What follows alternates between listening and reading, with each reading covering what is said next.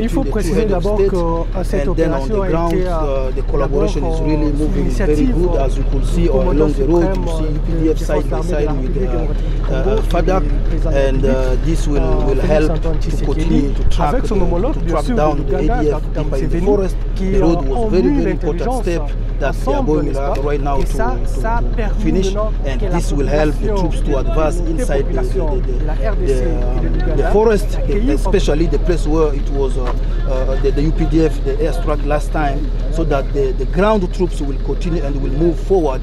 And uh, you have to be very sure that the collaboration between the two armies is really moving very, very perfect. And this will help to end finally with this ADF. Uh, as you could see from Mukakati up to uh, the other side that uh, UPDF is progressing very very fast and uh, also in the other side FRDC they are also progressing. So they really expect that in 20, uh, 84 hours uh, probably uh, they can make a junction just on the Semiliki bridge.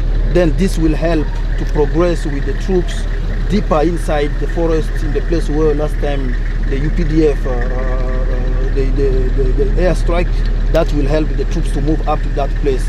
Without this road, they cannot move. This is why the work is really moving very fast and in 84 hours. They really expect that uh, this will end and the troops will continue with the move.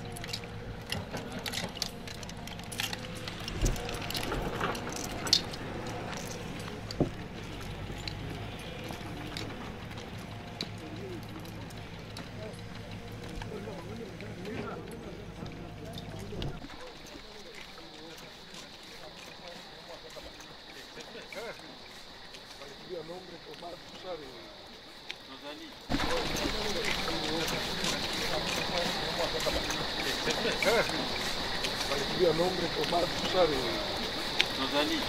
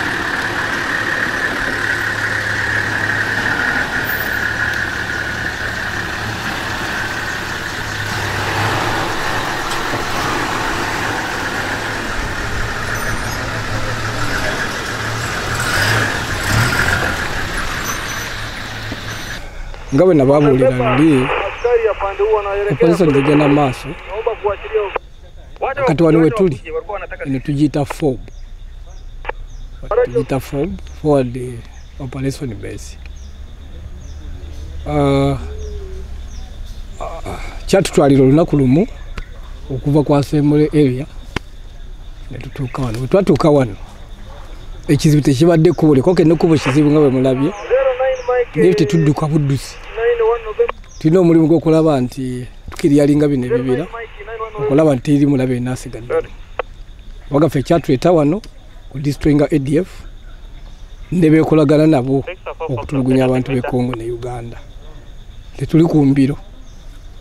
Ah, ensonga eyokubiri yali kubo lino ndoza mulirabye libadde lifaanana wano enkuba etonya almost buli lunaku tuyiseewo ngaenkuba titonye naye enkuba weba etonye teri motoka egenda.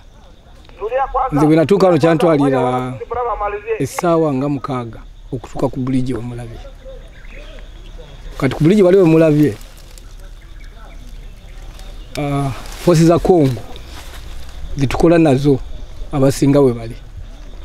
Kati almost ffe tumaze okukiryalinga wano okuva ku boda nokutuuka newane mukakati of course ebibira ebisinga byonna tubikiryalinze n'amagye mugasanze mugalabye agali ku part one. Tupatrolinga okulaba nti wali ate omuntu mulabe yenna atulugunya abantu abatambula mu makubo abakola bizinesi zaabwe. And then eh, ekirala tukiryalinga mu bibira okulaba nti eri mulabe gwe tuleka mabega. Tujja kgenda tituli mu kudduka. Ekyatuleeta wano ku destroyinga adf tujja kubanoonya bonna we bali kuba directive ya president yatugamba tujje wano tudestroyinga abantu abo. Ola tebaddayo ate uganda okutulugunya abantu ati bano abantu bawano naye tubikolera amabega ga fadaka era ndoza bakamanda mubalabye obudda tutambula nabo be batu- batugayidinga ekyekola tetuli waggulu waabwe tukolera tukolera guidance zaabwe